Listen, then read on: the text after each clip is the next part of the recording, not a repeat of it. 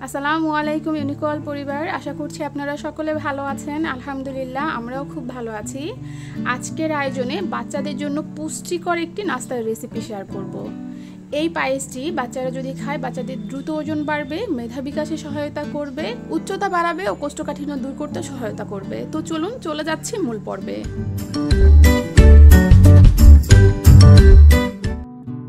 প্রথমেই পরিমাণ মতো সাবুদানা নিয়ে নিয়েছি, এরপর নর্মাল পানি দিয়ে দুইবার পানি চেঞ্জ করে ধুয়ে নিয়েছি। আবার পরিমাণ মতো কিছুটা পানি দিয়ে 10 থেকে পনেরো মিনিটের মতো ভিজিয়ে রাখব, তাই একটি সাইডে রেখে দিয়েছি।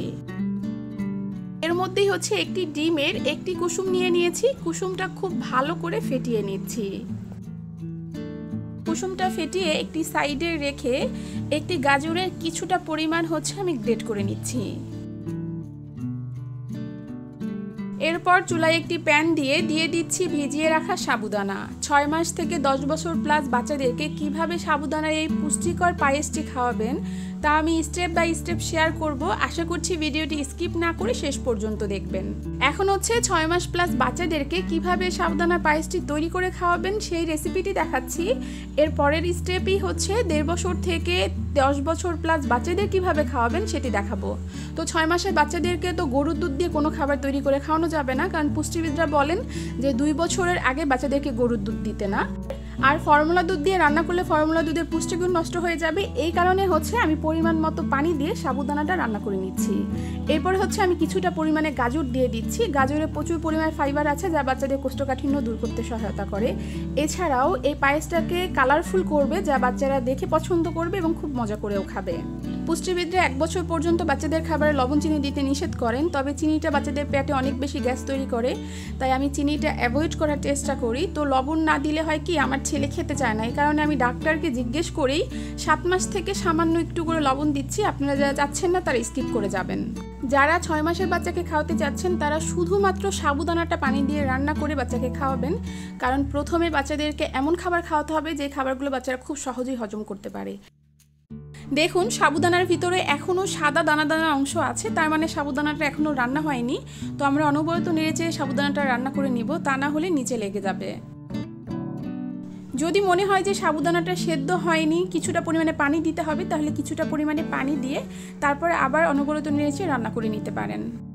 বাচ্চার যখন আট মাস প্লাস বা নয় মাস, তখন থেকেই চাইলে বাচ্চাদের খাবারে বাদামের গুঁড়া অ্যাড করতে পারেন। বাদামের গুঁড়াতে গুড ফ্যাট আছে, যা বাচ্চাদের ব্রেন ডেভেলপমেন্ট এবং ওজন বাড়াতে সহায়তা করবে।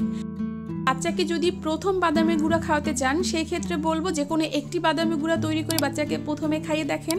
বাচ্চা যদি অ্যালার্জিগত কোনো সমস্যা না হয়, হজমে কোনো সমস্যা না হয়, তাহলে হচ্ছে বাচ্চাকে এরপর থেকে কন্টিনিউ বাদামের গুঁড়া তৈরি করে খাওয়াতে পারবেন। বাচ্চাদের ডিম খাওয়াতে চাইলে সাত মাস প্লাস থেকে শুরু করতে পারেন, আর প্রথমে হচ্ছে ডিমের কুসুমটা দিয়ে শুরু করবেন। তো এই খাবারটির মধ্যেই হচ্ছে আমি ডিমের কুসুমটা অ্যাড করে নিচ্ছি। আপনারা তো দেখেছেন যে ডিমের কুসুমটা আমি ফেটিয়ে নিয়েছি। এখন জাস্ট সামান্য একটু একটু করে দিয়ে খুব ভালো করে নেড়ে চেড়ে মিশিয়ে নিচ্ছি। ডিমের সাদা অংশে অ্যালবুমিন থাকে যা অনেক সময় বাচ্চাদের হজমের সমস্যা হয়, তাই প্রথমে বাচ্চাদের কুসুমটা দিয়ে শুরু করা উচিত। তাই আপনারা চাইলে এইভাবে হচ্ছে কুসুমটা দিয়ে খাইয়ে দেখতে পারেন। আর ডিমের কুসুমে গুড ফ্যাট আছে, এটাও বাচ্চাদের ওজনে সহায়তা করবে এবং প্রোটিনের চাহিদা পূরণ করবে এখন 30 থেকে পঁয়তাল্লিশ সেকেন্ড রান্না করে নিলেই কিন্তু হয়ে যাবে। তো চুলা থেকে নামানোর আগ মুহূর্তে আমি এইটুকু পরিমাণে ঘি দিয়ে দিচ্ছি। ঘি তো বাচ্চাদের জন্য খুব ভালো। আর পুষ্টিবিদরা বলেন যে সাত মাস থেকে বাচ্চাদের খাবারে একটু একটু করে ঘি অ্যাড করতে, এতে বাচ্চাদের যেমন ওজনও বৃদ্ধি করবে, তেমনি কিন্তু মেধা বিকাশেও সহায়তা করবে। এই রেসিপিটি যতদিন বাচ্চাকে হচ্ছে গরু দুধ দিয়ে কোনো খাবার রান্না করে না খাওয়াতে পারবেন, ততদিন এই রেসিপিটি ফলো করে খাওয়াতে পারেন। তবে যখন থেকে গরুর দুধ দিয়ে খাওয়াবেন, তখন থেকে কিন্তু এই রেসিপিটি ফলো করতে পারেন। তো দেখুন আমি পরিমাণ মতো গরুর দুধ নিয়ে নিয়েছি আর ভিজিয়ে রাখা সাবুদানাও দিয়ে দিচ্ছি। আমাদের দেশে পুষ্টিবিদরা বলেন যে দুই বছর থেকে বাচ্চাদেরকে গরুর দুধ দিয়ে বিভিন্ন খাবার রান্না করে খাওয়াতে, তবে যে বাচ্চাদের হজম শক্তি ভালো, তাদেরকে চাইলে দেড় বছর থেকেই হচ্ছে গরুর দুধ দিয়ে বিভিন্ন খাবার রান্না করে খাওয়ানো যেতে পারে। আমি তো আমার ছেলেদেরকেই দেড় বছর থেকেই গরুর দুধ দিয়ে বিভিন্ন খাবার রান্না করে খাওয়াচ্ছি।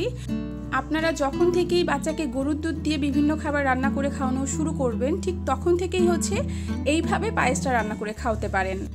এখানে আমি শুধু পানির পরিবর্তে গরুর দুধটা দিয়েছি আর প্রত্যেকটা স্টেপই একই থাকবে, তো আমি সেইভাবেই রান্না করে নিচ্ছি। তো আপনারা যদি বড়রা খেতে চান, সেই ক্ষেত্রে কিন্তু এই ডিমের কুসুমটা অ্যাভয়েড করতে পারেন।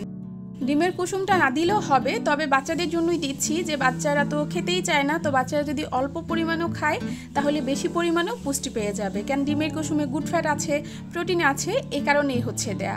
তো যাই হোক, আশা করছি যে আজকের ভিডিওটি আপনাদের কাছে অনেক বেশি ভালো লেগেছে। যদি ভালো লেগে থাকে, একটি রিকোয়েস্ট থাকবে, ভিডিওতে একটি লাইক দিয়ে, আর নতুন নতুন ভিডিও পেতে চ্যানেলটি সাবস্ক্রাইব করে আমাদের সঙ্গেই থাকবেন। আজ এখানেই শেষ করছি। আল্লাহ হাফেজ। আসসালামু আলাইকুম।